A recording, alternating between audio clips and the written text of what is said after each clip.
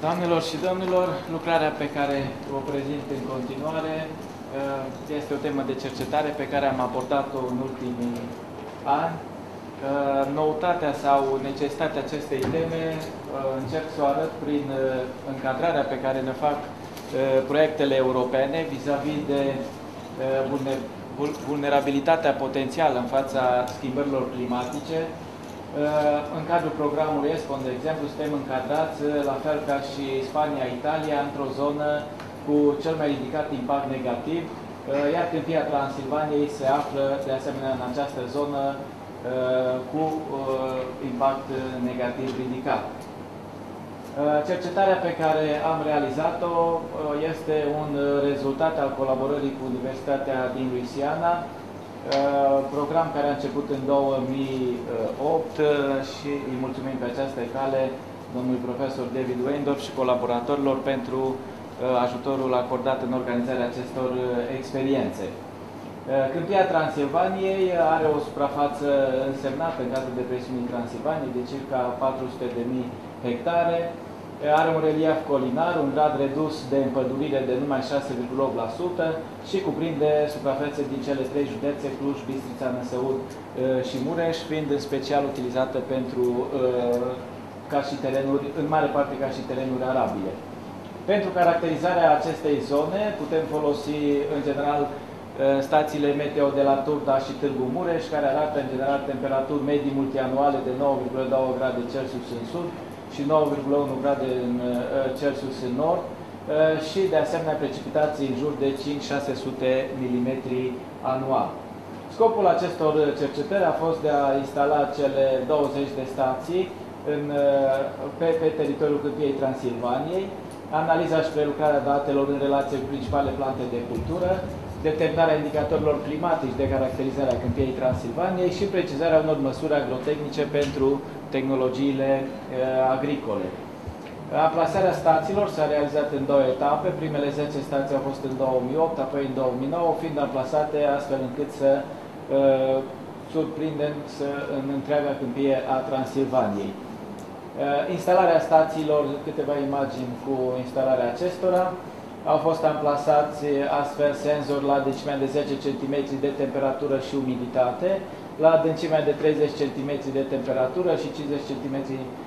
temperatură. La, avem un colector de date care magazinează electronic datele, un pluviometric, uh, au fost 10 pluviometre în 10 locații, pluviometru având, având și termometru pentru uh, înregistrarea temperaturii aerului la înălțimea de 1 metru. Au fost utilizați senzori care măsoară constanta dielectrică, măsurând umiditatea volumetrică, pentru temperatură senzori electrici și de, de asemenea pentru pluviometru s-a folosit, așa cum am spus, un termometru atmosferic și colector de date încorporat. Stațiile au fost amplasate pe tipuri de sol reprezentative din câmpia Transilvaniei, având aici aceste tipuri de soluri pe care au fost amplasate stațiile. Colectarea datelor s-a realizat la un interval de între 6 luni și până la un an maxim. Au fost colectate cu laptopul. Datele au fost prelucrate cu programul HOBO, au fost comparate între ele și au fost analizate cu datele analitice ale solurilor pentru a putea spune mai multe și despre aspectele legate de umiditatea solului. De asemenea, comparația a fost legată de a vedea modul corect în care reacționează, de exemplu, pluviometrii cu, cu partea de umiditate din sol. Rezultatele obținute ne arată, în primul rând, o oscilație foarte mare a temperaturilor și o grup, se poate realiza o grupare a acestora, respectiv partea nordică a câmpiei Transilvania având temperaturi mai mici și partea sudică temperaturi mai ridicate. Amplitudinea cea mai mare a fost în aer, între 9,35-12,04 Uh, grade Celsius, media multianuală, uh, peste mediile cunoscute ale zonei. Apoi amplitudinea a fost mai redusă la 10 cm și uh, cea mai redusă a fost la 50 cm.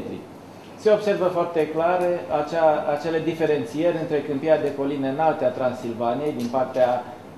nordică și din partea vestică și câmpia de coline joase ale Transilvaniei, partea sudică și partea estică, cu diferențe semnificative între sud și nord în ceea ce privește temperatura. S-a determinat regimul termic al solului și am constatat că acesta este de tip mesic, dar nu aceasta este cea mai importantă concluzie, să spunem, din acest punct de vedere, ci mai mult faptul că, deși de regulă temperatura solului este cu 2 grade mai mare decât temperatura aerului, la 50 cm adâncime, pe această bază să și determină, conform sistemului român de taxonomie a solurilor, regimul termic în mod indirect, putem constata că în această perioadă diferențele de temperatură între aer și sol au fost, dar nu atât de mari. A fost, de exemplu, de 0,15 grade la Nușen și de 1, până la maxim 1,36 grade la Voinicer. Ce spune aceasta? Că lipsesc foarte mult factorii termoregulatori ai solului, în special apa și vegetația în câmpia Transilvaniei. De asemenea, am determinat regimul de umiditate al solului, am stabilit că acesta este de tip ustic. Cu toate acestea, există perioade în care solul este uscat peste 45 de zile consecutiv după solstițiu de vară, ceea ce arată un regim hidric seric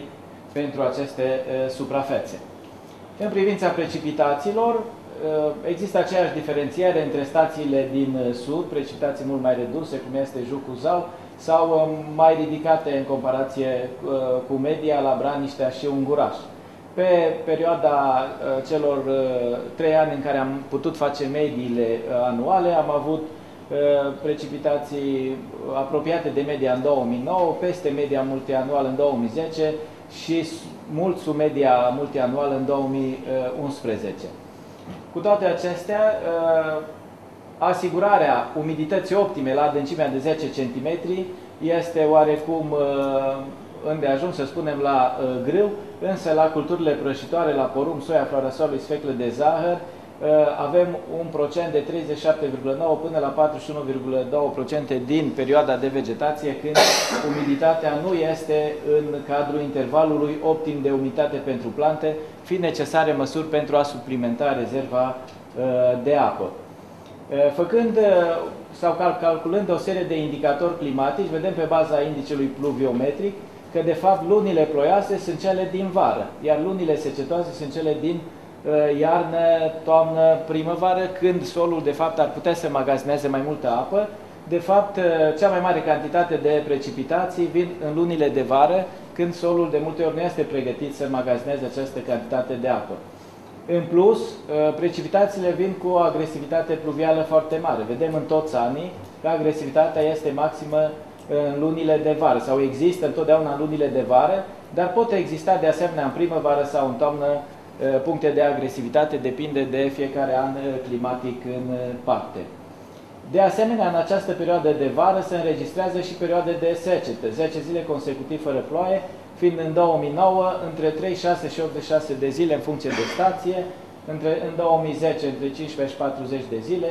în 2011 între 58 și 83 de zile. Tot în aceeași perioadă se înregistrează și temperaturi peste 30 de grade, acestea fiind, fiind în medie pe toate stațiile peste 58 de zile în 2009, 4, aproape 48 de zile în 2010 și e, aproape 54 de zile în 2011 ca medie pe toate stațiile. Calculând de asemenea indicatorii climatici pentru a caracteriza zona, vedem că pe baza factorului de ploaie lang avem un climat semiarid sau avem chiar și mediteranean și astfel poate ne explicăm de ce în harta aceea am fost puși alături de Spania și Italia ca și susceptibilitate la, la fenomenele climatice. Calculând însă pe baza indicelui de ariditate de Martone, această uh,